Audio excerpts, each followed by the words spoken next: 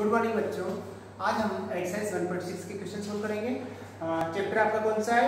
Number system ठीक है बच्चों? देखिए मैं पहले आपको कुछ आइडेंटिटी जो आपने क्लास एट में पढ़ा है तो मैं आपको पहले समझा दूँ।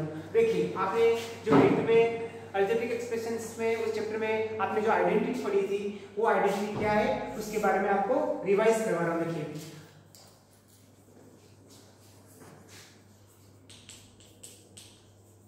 identity first A plus B whole square equal A square plus two A B plus B square second था आपका A minus B whole square and A square minus two A B plus B square third identity आपकी A my A square minus B square मतलब brackets A plus B into brackets A minus B